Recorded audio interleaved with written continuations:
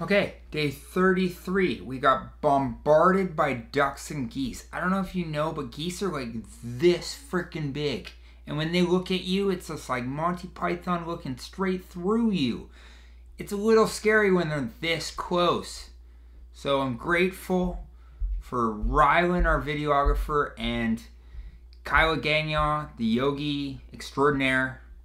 So without further ado, Oh, don't forget to comment, like, and subscribe. I want to hear from you guys. What was your biggest takeaway about today's video?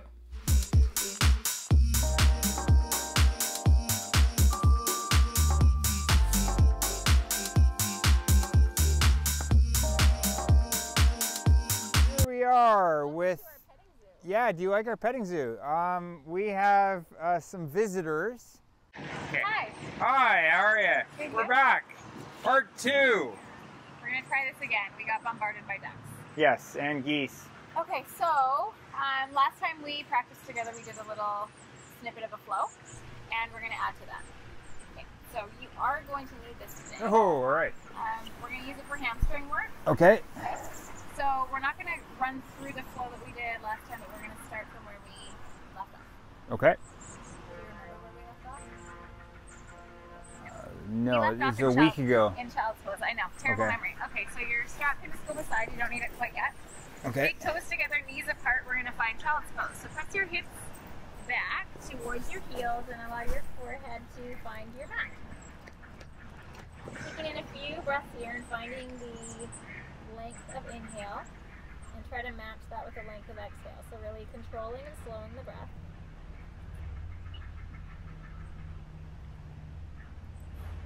About one more full breath. And then we're going to roll forward, coming from tabletop. We're going to bring yourself right down onto your belly. We did that low cobra at the end of our last practice. So, tops of your feet and shins press down into the mat. Hands are right beside your armpits, tucked in. Elbows are tucked in. Forehead is at your mat. As you inhale, pressing down through the tops of your feet and your hands, you're going to roll your shoulders, lift your chest and head off of your mat. Pull your chest a little bit forward, shine your heart forward. Exhale, release forehead to mat. Inhale again, shoulders back, chest comes up and through your hands, low cobra. Just waking up the spine a little bit. Exhale, release. And on your next inhale, lift the chest, find your low cobra. And now tuck your toes. Press yourself back through tabletop. And then find your downward dog. Press your hips up and back. So taking out any little wiggles here that you need to do. Stretching through the hamstrings, through the calves. From here, we're going to do three-legged dog. So inhale, lift your right leg towards the sky. Now keep it here. Kick out through your right heel. You should feel this now through your left calf, left hamstring. Take a one breath. And exhale, bring that foot down. Left leg, inhale, lift it high. Wow, you're much better at this than I am. Kick out through your left heel. Stay strong, press both hands away. Keep your left heel back. Stay for one breath. And bring it up to the earth. From here, bend your knees, look to the top of your mat, walk your feet forward, sink down, landing on your bum. Yeah. Okay. Both legs extended in front. We're gonna do a little spinal twist. This ground is very uneven. So take your right leg up and cross it over your left. Yeah, great. From here, take your right hand behind your hip like a little kickstand. Other right hand. Yeah. Sorry, other right hand. Other right hand. Now, left foot active, so flexing through your ankle, great. Right hand behind you as a kickstand, use it to lift your chest. Take your left arm up and hug your right knee across your chest. So, this looks like a stretch, it looks like a yoga pose. Not quite in it yet. So, I want you to lift your right bum cheek off your mat. So, rock right over to your left. Now, pull your right bum cheek back an inch, two inches plant it down. As you inhale, lift your chest. As you exhale, pull with your left arm, your right leg across your body. Now you can take your knees over your right shoulder. So where we're trying to feel the stretch is to the outside of your right hip. So a lot of people in this just line up people just try to crank this. Oh, wow. Nothing to do with your spine. This is the outside of right hip. Oh, I feel it. Oh, yeah.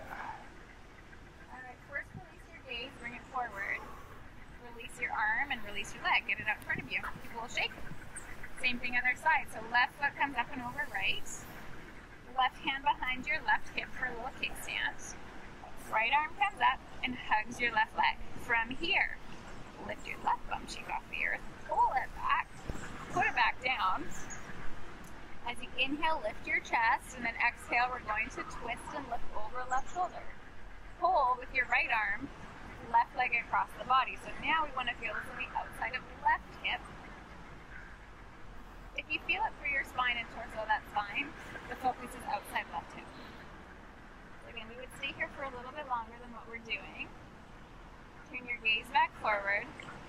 Release arm, leg, release the twist, give it a shake. Now, we're going to use your strap. So lying on your back, bending both knees. And let's take your right foot to start. Bring it up towards the sky and place your strap where you're on the, the ball of your foot. Good. Hold the strap with both hands, bring your arms down. So you want to find a place with your arms that is um, the most useful. So if you have it up here and you're really, really tight with your arms, you're going to want to find some release. So maybe bring your elbows down to the earth. So right now, focus on right hamstring and calf. So try to kick right heel up towards the sky and pull your toes towards your face. Yeah, heel press that, toes pull down. From here, try to pull the belly in towards the spine and relax the of your shoulders to the earth. And now in this stretch, we tend to get really tense through a lot of other places. So trying to release tension. So take your teeth and unclench your jaw. And then the muscles between your, your eyebrows, see if they can release a little bit. And now if you wanted to deepen this, and you do not have to, but if you did want to, you would straighten up your left leg. Both options are great. To add to this, take the strap in your right hand take your left arm out to the side. Now you're going to open your right leg all the way over as far as you can, trying to keep your left hip on the earth. Kick out through your right heel. Continue to pull back through your right toes. And continue to pull the back of your left hip towards the earth. I like your imaginary rope. Yeah. It works. Good. Inhale, bend your right knee, bring it back up through center. Take the strap now in your left hand. Take your right arm out to the side. And now we're going to take this leg all the way over to the left, as far as it wants to go. And then from here, again, kick out through your right heel. And now see if you can kind of pull your right hip back. So it's almost like a tug of war with your hip and your heel. So this one generally hits the IT band in a pretty intense way. You want to stay here and breathe a lot. Continue to kick away with your heel and pull back with your hip. Stay here for one more breath, and in a perfect world, you'd stay there for like 10 more. Bend your knee, bring everything back through center, and change legs. Right foot to the earth, left heel to the sky, strap around, ball of left foot. Okay. So drive your left heel up, pull your left toes back towards your face. And again, if you want to enhance this, stretch your right leg with straight. Have to, whatever feels good. Keeping a gentle micro bend to the extended legs.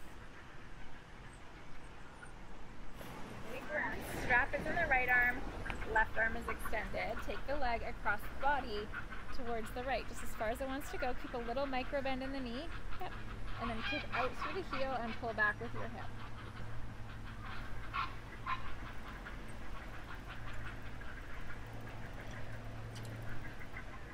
Stay in here for one more breath. And then release, bend the knee, come back through center, get rid of your strap. One more stretch per side. Figure four or supine pigeon. If you care. Take your right foot, place it on your left knee. Flex through your right ankle, and then try to power just gently your right leg a little bit away from your body.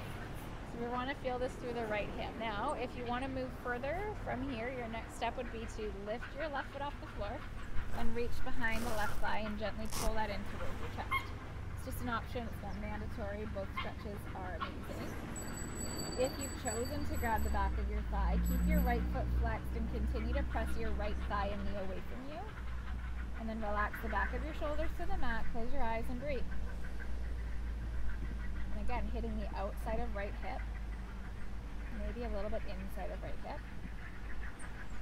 Stay for one more breath.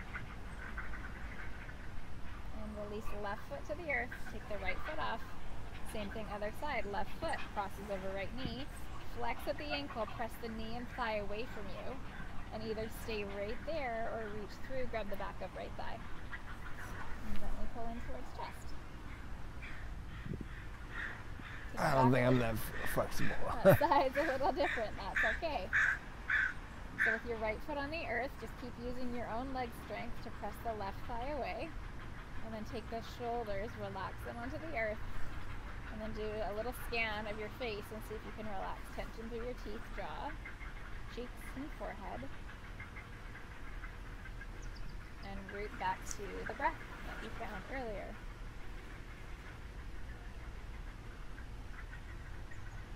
Now releasing the left foot, take both feet to the mat, just as a gentle spinal twist to finish. Both feet to the mat and have them as wide as your mat. Take your arms back into that famous cactus, and then take both knees to the right. So very gentle twist to the spine. Gaze can look over your left shoulder. We should be feeling this through the left low back, maybe a little bit through the hips, maybe a little bit through the front of left thigh. Inhale, bring your legs back through neutral, head through neutral. Both legs fall to the left and your gaze looks to the right.